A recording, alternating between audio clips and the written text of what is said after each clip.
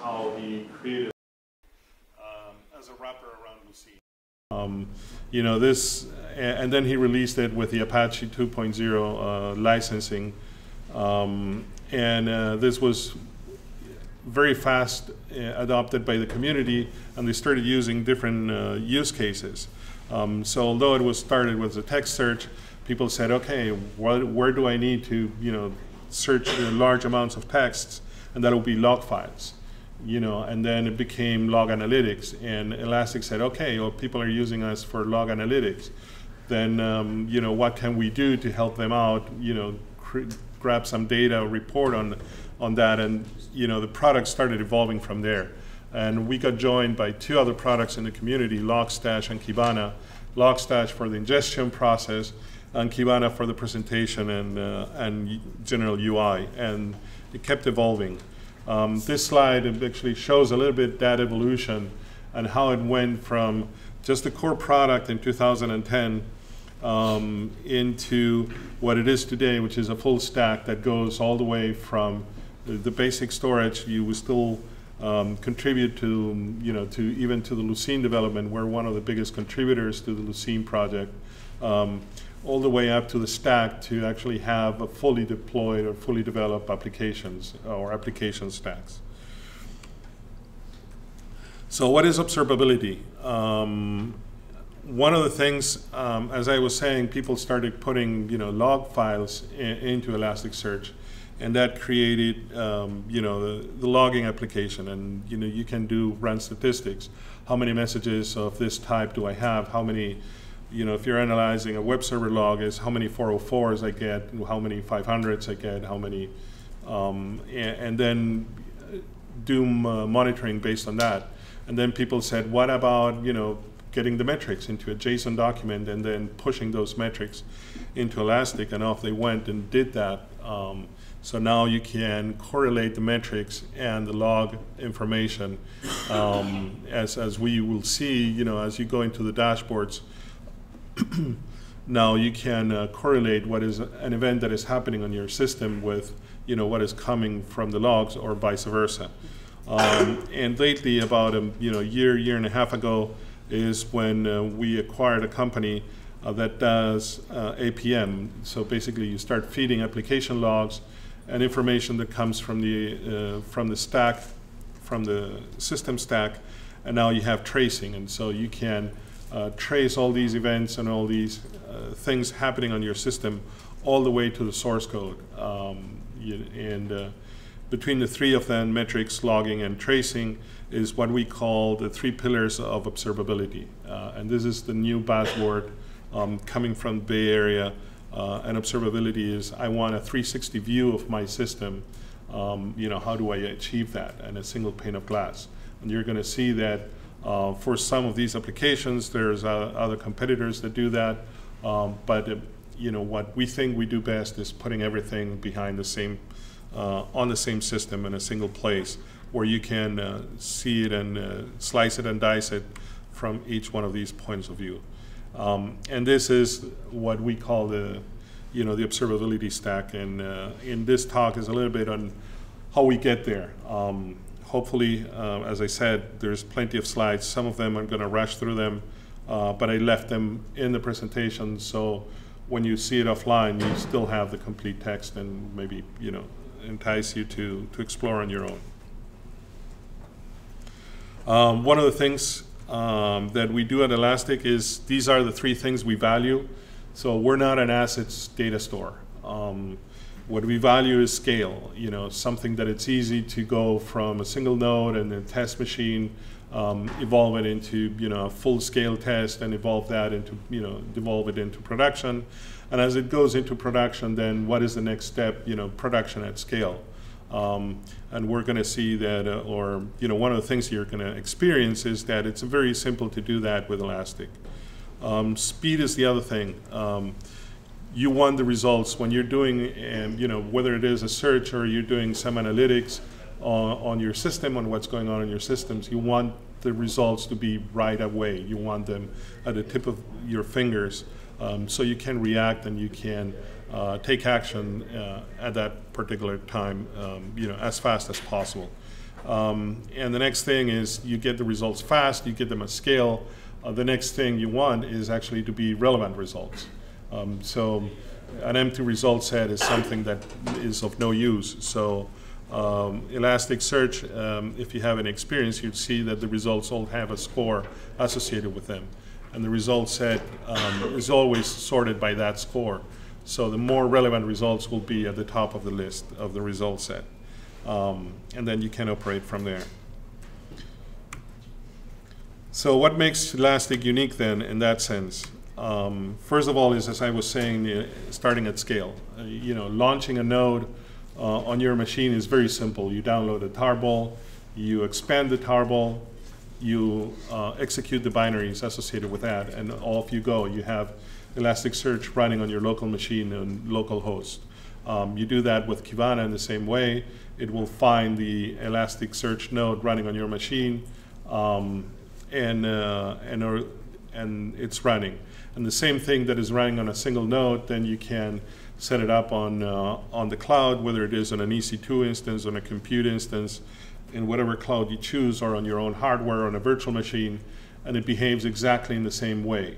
Um, if you want to expand you know, into multiple nodes because you need uh, the high availability or you need to scale, then you just add another node. It will discover um, the, other, the existing nodes um, on the network and it will start coordinating with them, you know, how to distribute the load between them. Um, and you can grow all the way to, you know, hundreds of nodes. We have, you know, our biggest customers have hundreds of nodes running on their networks and, you know, uh, processing terabytes of data uh, per day or, you know, even petabytes of data per, per day. And the same way you operate on a single node is exactly the same way you operate um, uh, on a huge scale. Um, of course, backups and things like that need other considerations, but that's the idea. Um, uh, again, as I was saying, as, as the data was expanding, what happened is, you know, uh, Elastic started implementing data um, with different indices and representing the data for the different search cases in different ways. So as the data is ingested, that's when it gets indexed, and that's how we get the speed at scale. Um, so all the work is being done on the ingestion time. So when the data is in Elastic, you have that instant retrieval uh, time, no matter what kind of data are you, there, uh, are you using. Um, and it has different indices for the different use cases. So if you're doing just a regular search, um, you know, for that search box on your website, it's definitely going to use um, the, the inverted text. Uh, but if you're using numerical data and you have to search on numbers or ranges and things like that, um, depending on what you're trying to do, whether it's aggregations or just numbers, it's going to use either the BKD indices or the columnar store indices um, simply you know whatever is best for for your particular use. Um, so this is a stack. This is how it looks like. These are the components. Elasticsearch, as I was saying, is the engine um, that does uh, most of the work uh, behind the scenes. Uh, it's the wrapper around Lucene. Um, Lucene does the inverted index and, and the text search uh, and a bunch of other tasks. Um, all, the, all the rest is done by the other components inside Elasticsearch. Um, on the bottom side of the stack is where we have the Logstash and Beats. Um, Logstash was the traditional way of ingesting the data. Um, that's where the, uh, the L and the ELK stack comes from. Um, now it's more of a transformation or ETL tool. Um, so basically the data that the beat agents um, cannot process or it's not enough uh, enrichment or don't do enough processing, you run them through Logstash. Uh, and Logstash can do a bunch of other things on top of, of that data. Uh, for example, a very common um, thing is um, you know combine the data from other data sources. So for security, for example, um, you can uh, grab malware IP addresses coming uh, from some services that publish those IP addresses. And then as you ingest logs from your website, you can uh, tag those IP addresses if they already belong to that uh, list of malware. Um, so you have them identified as you ingest. Uh, and Kibana evolved from a reporting tool and a GUI tool into also a management tool. And we're, you know, time allowing, um, we're going to see um, if we can see some examples of that management. So how does the ingestion happen? Uh, the ingestion happens uh, mostly through the beat agents. The beat agents are very thin agents that you install at the endpoints. Uh, they're written in Go, um, so there's no dependencies. They're fully contained, um, very lightweight, and um, and they they can uh, ingest all kinds of data. And some of the data, uh, for example, at NetFlow, uh, data that comes from your devices at the edge of the network uh, would be ingested using Logstash. Um, you know, we have plenty of modules. Um, again, Logstash is the ETL tool, and it, it can do um, all kinds of transformations. Um, it runs on its own machine. Uh, it needs Java, so it's a little bit more heavyweight um, than the beat, the, the beat agents. There's a little bit more information on the beat agents. Um, we have um, seven beat agents developed by ourselves. Um, FileBeat, what it does is uh, it uh, looks, um, it absorbs, it, it, ingests the data that are uh, contained on log files uh, typically. Metric Beat is um, an agent that will gather information from the systems, whether it is uh, from the core system or the different modules and services running on the systems and uh, ship it all to Elasticsearch. Packetbeat is the same thing or similar um, uh, to uh, what TCP dump and Wireshark would do. You know, captures information on the network of a system and handle, you know, uh, sends that information back to Elasticsearch. This is great to analyzing network traffic, who's communicating with whom, who, um, what kind of information is being sent. Um, WinLog uh, same as FileBeat in, in uh, Windows systems. Um, you don't have log files, you have event events that are stored into the system. WinLog beat basically taps into that information.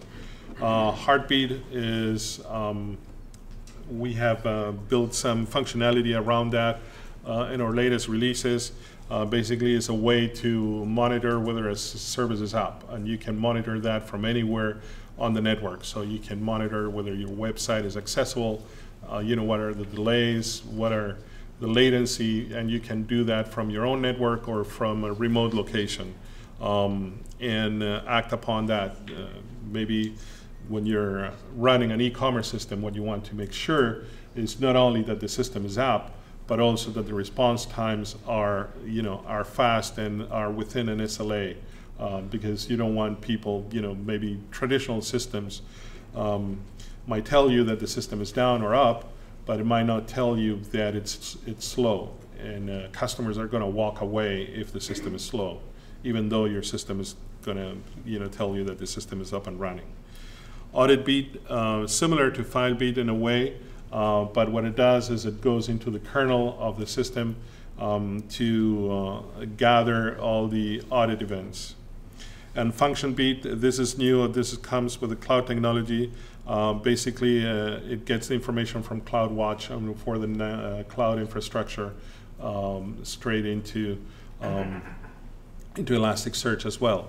Uh, in this case, uh, you have to keep in mind that when you have traditional systems, you spin up a machine, you spin up a, um, a virtual machine, um, and you're up and running and you can monitor. But uh, containers are ephemeral. Um, so maybe you have uh, functions that, you know, or services, microservices that come up um, on and off, you know, um, continuously, and it's very difficult then, you know, to see what is going on because basically, you know, now they're there, then they're not. Uh, with uh, FunctionBeat, you're able to capture all those uh, elements as they happen. Um, it's a Lambda function in AWS, or similar. It will be implemented in a similar way on Google Cloud and Azure, um, and allows you to monitor then these cloud events. So this is how the architecture looks like. Um, the basic architecture, uh, you're going to have Beat running on, on the edges of the system gathering all the data. Uh, the data can be um, you know, fed directly into Elasticsearch or go through Logstash for enrichment. Logstash is then also capable of gathering additional data from other systems, whether it is an RDBMS, um, you know, uh, network devices and things like that as well. Um, all goes into Elasticsearch and everything is exploited and managed uh, through Kibana. So this is how the, the chain looks like. Um, now, if we go into Beats, uh, Beat have modules, and we're going to see a little bit more detail on how this works. Which, what that means is when you run Beats and when you run them for the first time, it will create the dashboards for yourself. But not only that, um, if you enable a, a, certain module, it will understand and um, you know gather information for that subsystem.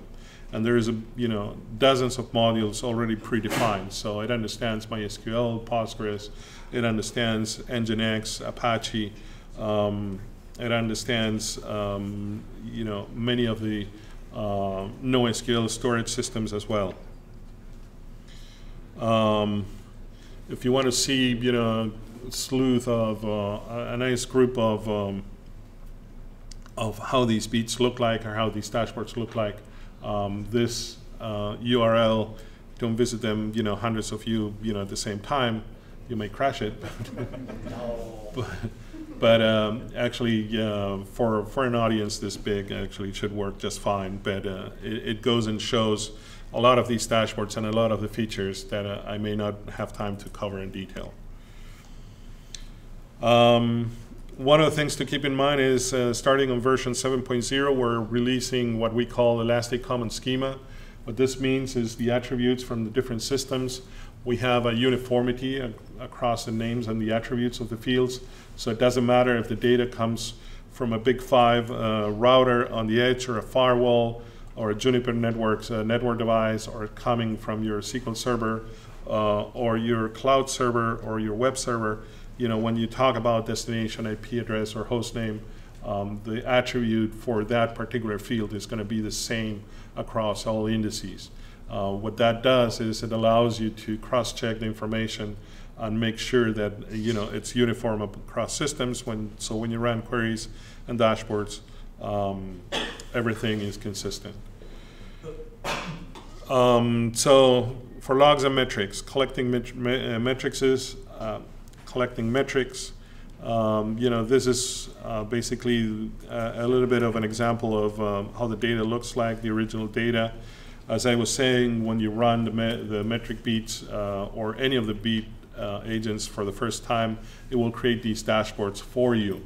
Um, so you have a zero to running something useful uh, in, uh, in no time, in, in 15 minutes um, or even less depending on the volume of your systems. Um, and in some cases, it will also create uh, the machine learning jobs for your alerting system, and it will create the alerts, the default alerts as well. Um, these are the infrastructure metric beats and the modules that it supports. Um, these are most of them. Uh, there, uh, there are many more, and we have new ones coming up at all, uh, you know, at all times. Um, this is a little bit more uh, of the infrastructure um, as well. Um, this is a, an infrastructure view, um, you know, how everything is, is viewed together. Basically, um, as you have containers coming on and off, as I was saying, locating them on dashboards becomes very difficult because, you know, now they're there, now they're not and then they come back up again. So we have implemented on the latest versions this infrastructure view, which is a tile uh, interface where you can see your systems up and running, and if they they're color coded, so if they're gray, um, that means they're in normal state. If they're um, in, in, that um, teal color, that means they might be under stress, and if they're red, it means something is going wrong. And you can uh, click on that tile and go straight into the metrics for that particular um, system right away. Uh, collecting logs is not much different as again, um, you know, the metrics, uh, the FileBeat agent uh, creates dashboards for you, so some counters, um, some graphic representation of what's going on. Um, it might create some maps as well, for example, with geographical, it would get the GeoIP information from the IP address and map them to a, um, into a, an actual map um, that will tell you, you know, where the traffic is coming from uh, geographically. Um, and you can see if you have, um, you know, abnormal time uh, type of traffic coming from a single location. Again, there's plenty of modules that are supported. Um, also, the logs, there is a new uh, user interface in Kibana that allows you to see the logs streaming as they go by. Um, this is like a tail-f um, interface for all your logs. Uh, but also, one of the things you can do is you still have Elasticsearch underneath it. So you can filter those logs with using just the, the messaging. So as you see the logs flowing live in your screen, uh, you can say, okay, show me all the ones that belong um, to a certain region or to a certain range of IP addresses. Uh, or have a certain return code or have, you know, and, and you can um, basically focus very fast into the information you're interested as it is coming through to your screen. Um, uh, if you try to do that in the command line, and at some point, um, you know, many years ago, uh, when I was a DBA, um, we had to write, you know, very complex one-liners and, you know, Linux pipes to get all this up and running. So that's beta? That's not out yet, or? Um? It, it is, I think it's GA on version 7.0, which is the latest. Um, alerting, um, and um, this is probably um, as far as we can go with the slideware, although there's been plenty of more slides. Um, it has, you know, the traditional alerting systems by threshold, um, and this will, you know, give you all the the, typical alert systems that you will find in something like Nagios. Uh, the great advantage in this case is since you have everything running on the same place, is that anything that you can run or any value that you can get from an Elasticsearch query is a valid way, um, you know, to get that alert.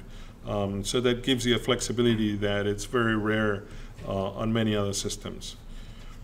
Um, so, for example, in this case, is you know if you have uh, more than a certain number of login attempts on a given machine uh, on a given time uh, timeline. So if someone is trying to do a brute force attack, um, you can alert right away.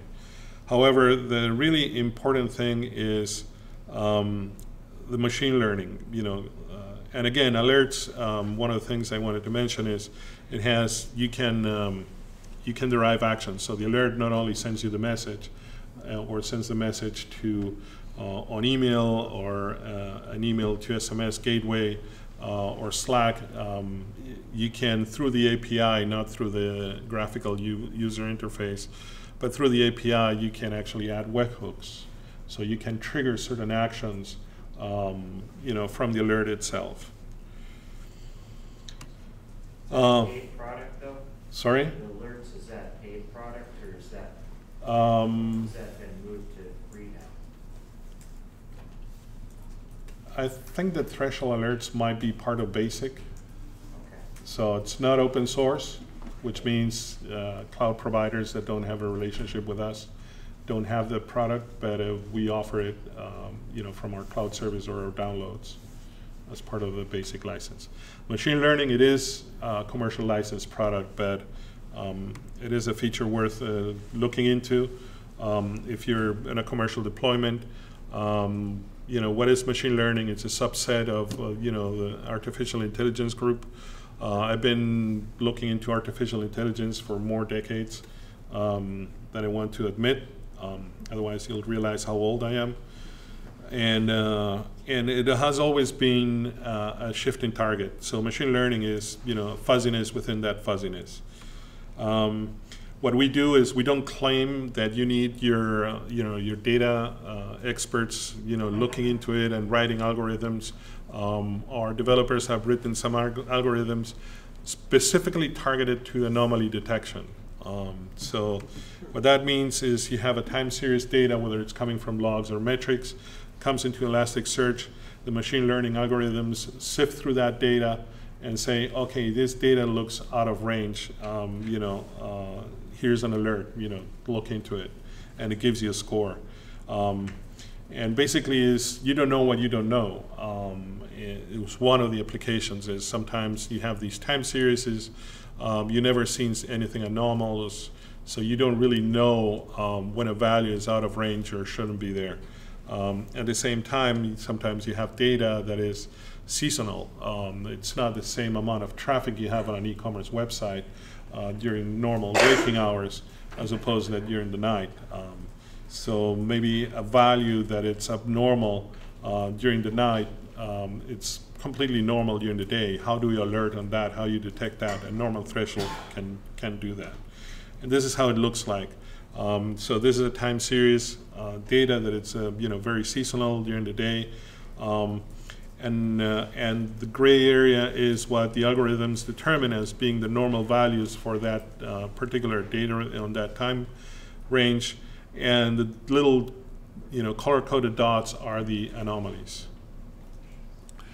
So this is where I'm going to interrupt my presentation, although there's plenty to go. And let's see if I can go into my system. So as I was saying, this is my own desktop running at home. Um, and what it uses the most is the browser and, uh, and a free open source game. So nothing exciting to see here. Uh, and it runs a few other processes in the background. Um, that's how I get all these uh, system load parameters. Um, all these dashboards, all these dials, uh, it's all defined uh, on metric beats by default. Um, so I didn't have to do really anything here. Uh, but what I want to do here is let's go uh, here. Since I'm an employee, I'm running this on the cloud, uh, on our cloud, um, I can do, um, I can create a, a machine learning job. Um, and what I'm going to do is um, I'm going to check the index, uh, it's metric beat. Uh, these are the type of uh, analysis it can do. Um, if I had more than one machine being uh, monitored, I would go with multi-metric. Um, this would that means that this rule that I'm going to apply, uh, that I'm going to create, it applies to all the um, all the machines uh, on my set of machines. Uh, but since I have a single one, let's go with single metric. Um, and it says a new job for, for index patterns. So select an aggregation, and here I select you know, what I'm trying to look for. And I'm going to try to look for the mean value of a certain metric. Um, then I select the field. Um, I know what the fields are, but I can go through the drop-down list, but system, CPU, user percentage, um, the bucket span, uh, spans is, you know, the amount of time that it would do the analysis. Uh, the buckets it's going to divide, it's going to compare bucket to bucket. Um, and I'm going to say use the full metric data. Uh, there it shows the data that has been gathered. Once I click here, um, oh, I need to do the job ID. Uh, let's call it Linux Fest Northwest. I'm not going to do much more, but uh, in the advanced configuration is where I can set up, um, you know, actions and watch and alarms and things like that. Um, I can do a validate the job. Uh, it says everything is okay. Close, create the job. And now it's looking through the data, doing its averages and calculations, and saying, okay, these are normal values, these are abnormal values, um, you know, and this is what's going on. Um, so I'm not gonna, I'm gonna ignore the this gap here because that's data that hasn't been gathered. Um, but the, it has been, the job has been created. So now I can go and view the results. Um, this will take me to the single metric viewer. And I have a slide rule here. And I can see the values you know that have been they're abnormal. And if I go down here I can see for the more most abnormal value is when it happened. You know this happened on April 11th um, you know what is the uh, typical value expected at that point in time, you know, what is the actual value that it got. Um, and should have a scoring there. It has, well, it has the scoring. Um, the, the actual typical score, and it's 30% higher than normal.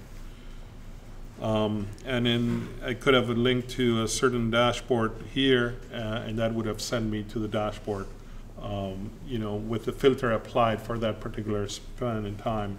And then I can do the analysis to see why this was an atypical value. Um,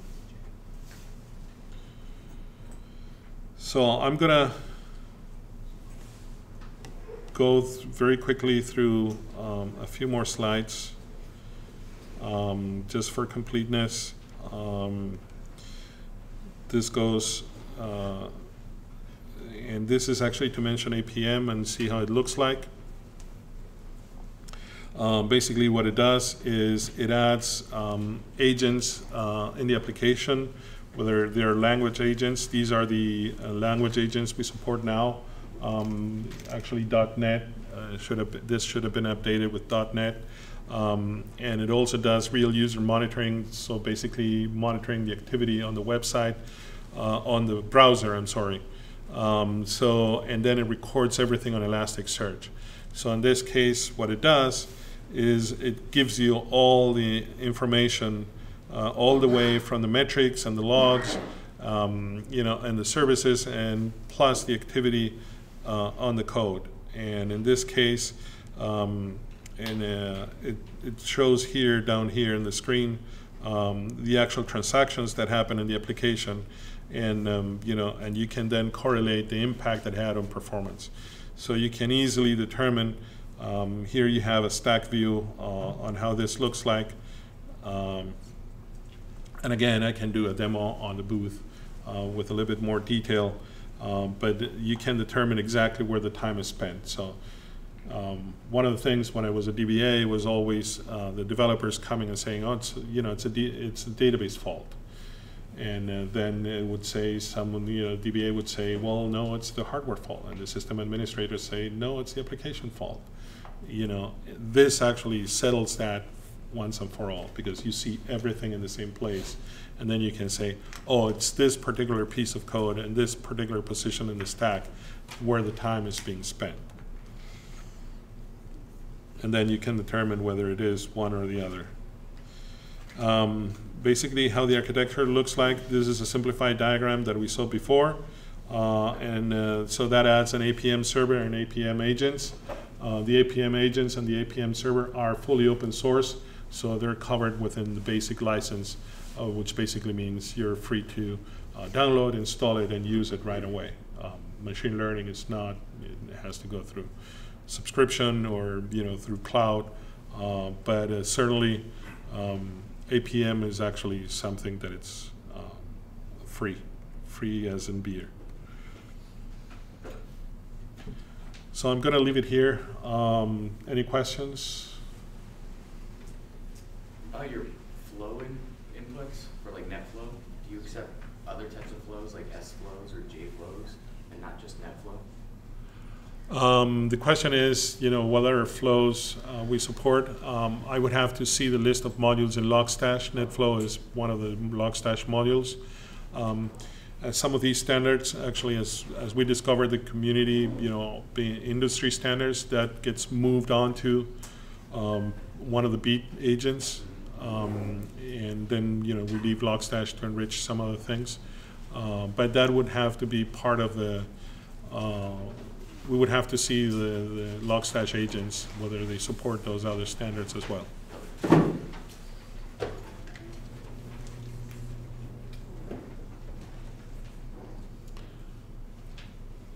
think the, oh, actually, we still have like five more minutes. So let me go, Now, what you showed us with like machine learning, is that built into like the Elk stack? Can you go in- that everything, uh, Or is this part of your no. Elastic services? uh, no, everything is built within the Elk stack. Okay. One of the changes that happened over the last year or so is um, before that, when you had all these additional packages, you had to install them, you know, once you acquire them or had the licensing.